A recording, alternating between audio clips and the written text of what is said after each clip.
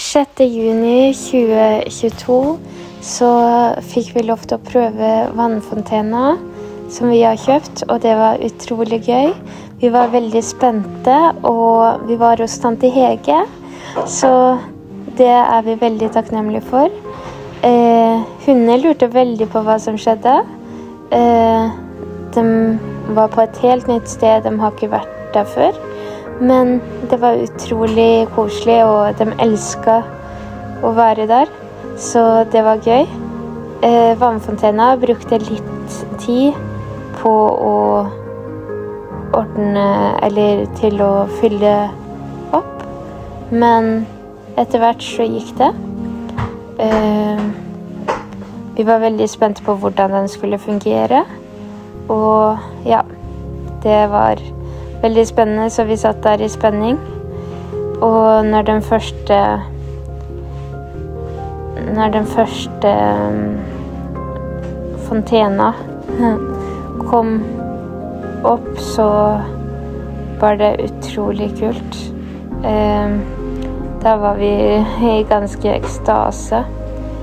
Det, vi, lo, vi prøvde å la hundene gå litt på det, og ja Viktig å klippe neglene før.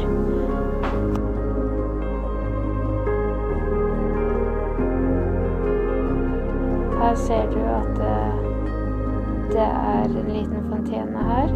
Og det er først nå jeg merker det. Eh, veldig, veldig kult.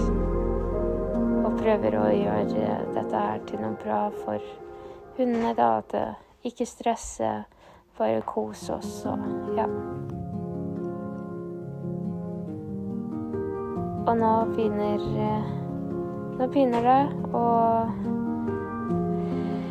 hundene begynner å bli litt våte. Men ikke sånn veldig våte.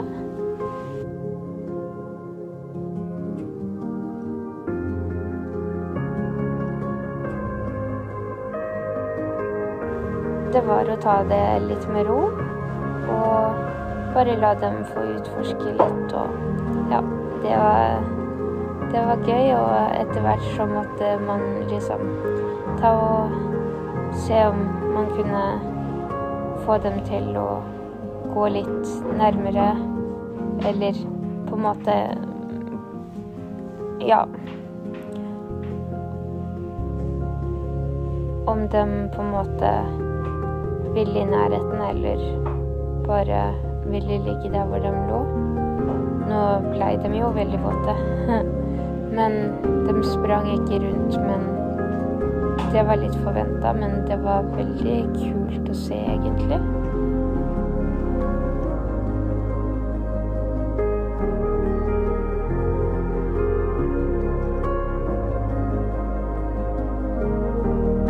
Her prøver jeg å få Hamadivs til å forstå at det er lurt med litt vann og sånne ting.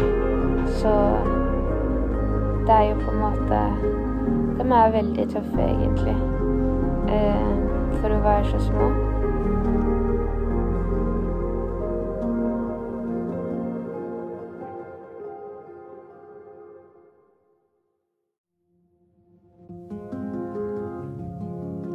Nå ble det litt vått for meg, så jeg bare Ja.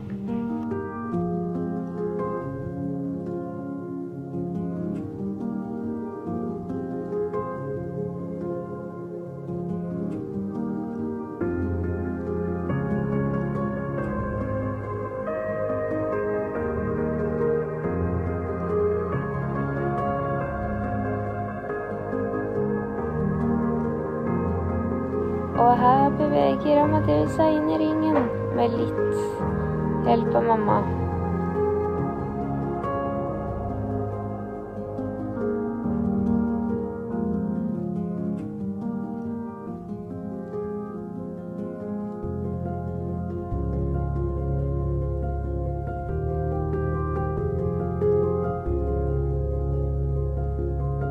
Og så prøver vi å gå rundt. Amadis er en kenguru. Eh, tydeligvis.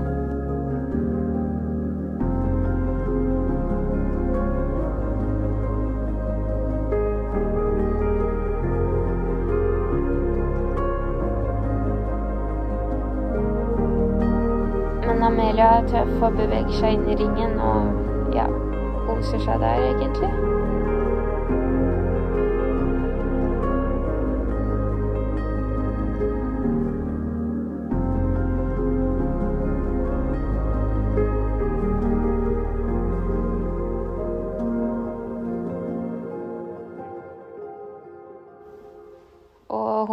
Veldig herlig.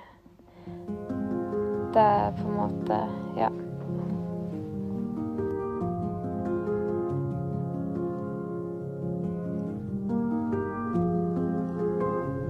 Å, jeg er glad i vann, men nå var det nok.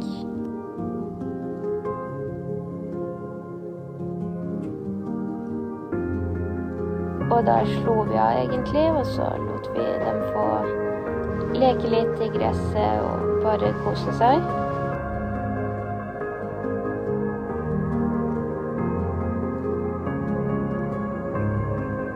Det hadde vært veldig gøy med vannfontene et sted der hvor også Altså at vi hadde gjerde rundt vår Ja, rundt oss, da, i hagen, men ja. Det får bli en annen gang. Å, så søte de er.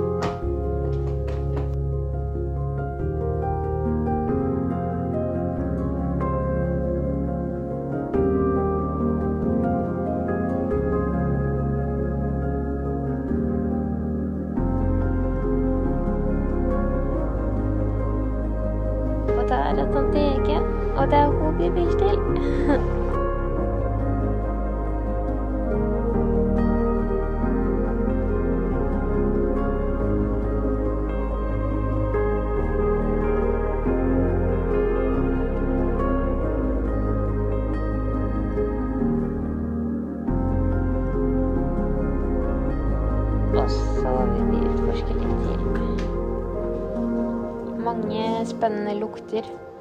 Dette her er jo tre Dette er jo andre pinsedag. Så det er jo litt koselig å gjøre noe spesielt. Og i hvert fall når det er 27 grader. Det, det er varmt. Både for liten og for stor. Og spesielt for hunden, da.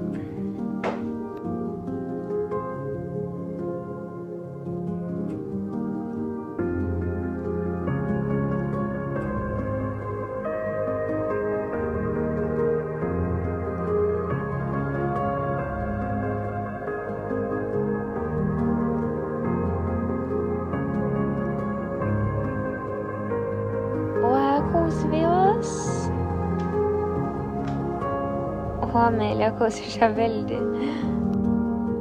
Ja, vi skal snart på utstilling.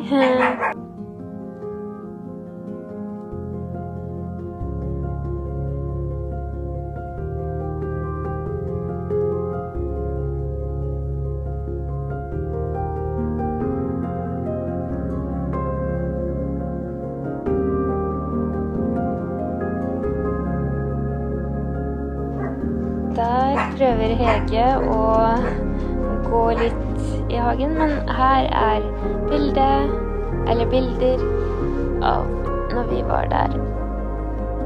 Så her ser faktisk alle på.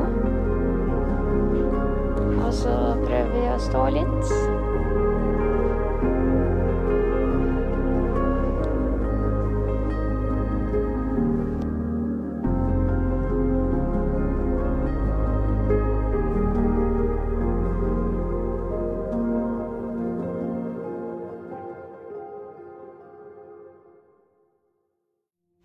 Og så her er det jo å bare hvile på terrassen og bare kose seg.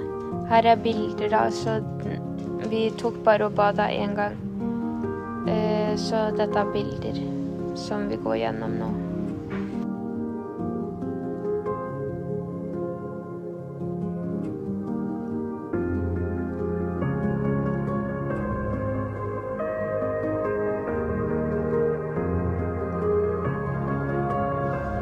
Så i tok vi videoene, nå er det bildene.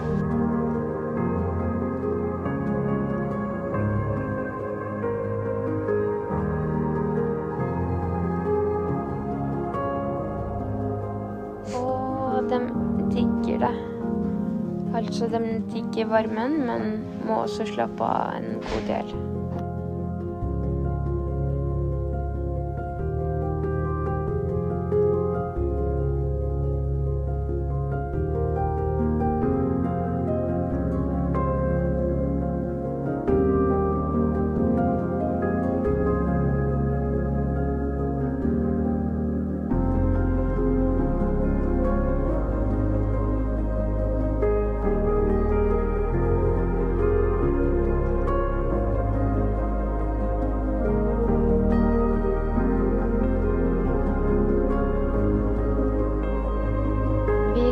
Oss veldig. Og tusen takk til tante Hege.